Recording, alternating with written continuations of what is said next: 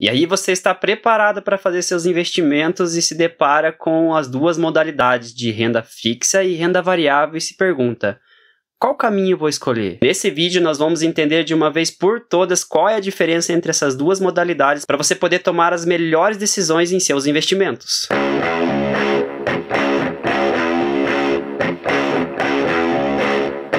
Fala Piazada, e aí, como é que vocês estão? Espero que todos muito bem, sejam muito bem-vindos a mais um vídeo do canal. E nesse vídeo nós vamos entender de uma vez por todas, de uma forma totalmente simples, o que é renda fixa e renda variável, quais são as suas diferenças, as suas vantagens, desvantagens e os seus riscos. E fica tranquilo que se você está em dúvida sobre essas modalidades, isso é normal, isso acontece com todo mundo, inclusive comigo no começo, e garanto que tem muito investidor que ainda tem dúvidas sobre essas modalidades. Mas antes de mais nada, pesada, isso aqui não é uma recomendação de compra nem de venda de nada, tá? O vídeo é com intuito educativo para que você possa tomar melhores decisões, beleza? Como eu disse, é totalmente normal no início nós temos a dúvida de qual nós vamos escolher, porque nós perguntamos qual que rende mais, qual que tem o maior risco, qual que tenho maiores possibilidades de ganho, então é normal nós termos essa dúvida. E digo mais, provavelmente tem muito investidor que ainda tem essas dúvidas, porque ao longo dos anos nós vamos aprendendo que os investimentos têm altos e baixos, e isso nas duas modalidades. Então, por vezes a renda fixa está mais atrativa e por outras vezes a renda variável está mais atrativa. E quando, por exemplo, nós temos nossos investimentos, a maioria em renda variável ou quase tudo em renda variável, e não está performando muito bem, nós começamos a olhar com mais carinho para renda fixa. E da mesma forma, a renda fixa, quando não está performando muito bem, nós olhamos com mais carinho a renda variável. Então nós ficamos nessa constante dúvida. E é muito importante nós termos clareza desses dois assuntos para nós não tomarmos decisões equivocadas. E por isso que nós temos que saber o que são elas, quais são as vantagens, desvantagens, seus riscos. Logo de cara eu vou te entregar o ouro, eu não vou deixar isso para o final do vídeo, eu quero muito que você coloque isso na sua cabeça. Não existe melhor ou pior. As duas têm suas características e as duas se completam. Nós vamos entender isso ao decorrer do vídeo. Então vamos lá. Primeiro de tudo, vamos entender o que é renda. Basicamente, renda é tudo aquilo que você recebe, que você recebe de dinheiro. Se você está trabalhando numa empresa, recebe seu salário. O seu salário é uma renda. Se você é dono de um imóvel e aquele imóvel está alocado, né? Você recebe aluguel sobre aquilo. O valor que o inquilino te paga de aluguel é uma renda. Aquele dinheiro é um rendimento. Então, renda basicamente é tudo que você recebe. Entendido isso, vamos para renda fixa. De uma forma super simples, renda fixa é sempre quando você acorda de forma antecipada os juros que você vai receber sobre aquele rendimento. É como se fosse um empréstimo. Quando você tira um empréstimo do banco, no momento que você faz o empréstimo, existe uma taxa de juros que você vai pagar para o branco. Errou! Existe uma taxa de juros que você vai pagar para o banco sobre aquele empréstimo. O investimento em renda fixa é a mesma coisa, só que no caso você está emprestando seu dinheiro para o banco ou para o governo. Olha que maravilha. Quando você compra um título público ou de uma instituição financeira, você está emprestando seu dinheiro para eles a uma taxa, a um juros. E esses juros, essa taxa, pode ser pré-fixada ou pós-fixada. Vamos entender.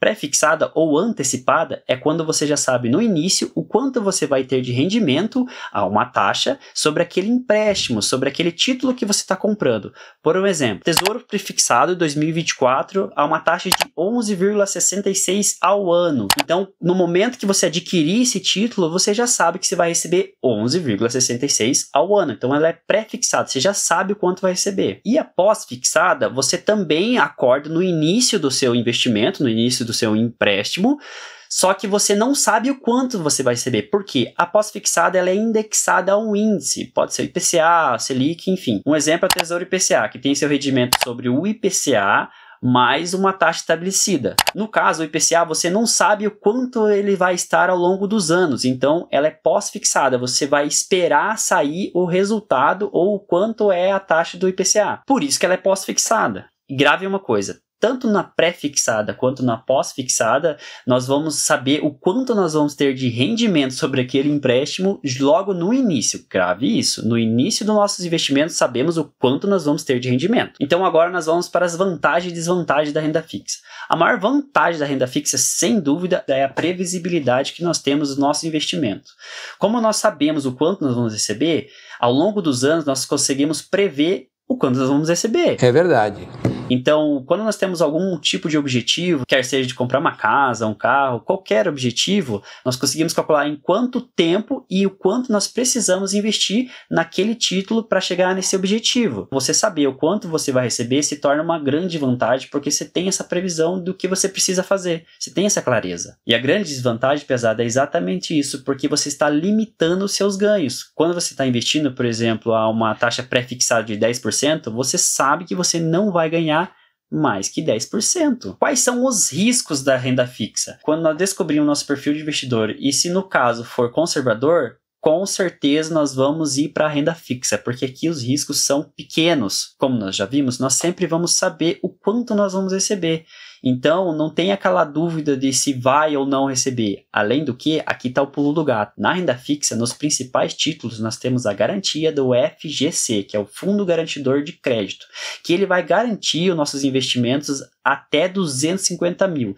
Então, até 250 mil reais, ele vai te reembolsar. Então, isso nos traz muita tranquilidade para investir. Por isso, a renda fixa é mais indicada ao perfil conservador. Beleza, entendida a renda fixa, agora nós vamos para a renda variável. O que é renda variável? Diferente da renda fixa, aqui você não tem previsibilidade. Não vai saber o quanto você vai receber e nem se vai receber. Para entender melhor, vamos pegar as ações de uma empresa, que é o investimento mais comum da renda variável. Quando nós adquirimos uma ação de uma empresa, nós nos tornamos sócio daquela empresa. E qual que é o objetivo de toda e qualquer empresa?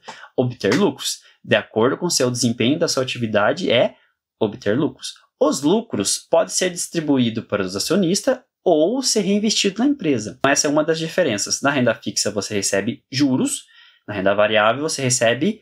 Lucros que podem ser distribuídos como dividendos ou juros sobre capital próprio. Só que aí que ela se torna uma renda variável, porque lucro vai depender do resultado da empresa, se ele vai ser positivo ou negativo.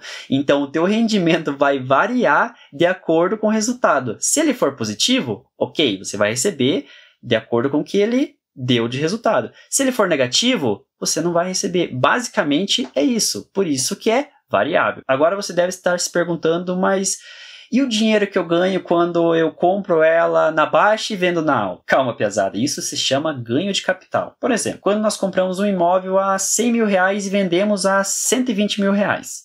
Esse 20 mil reais que é a diferença, isso se chama ganho de capital, porque nós ganhamos com a valorização do imóvel.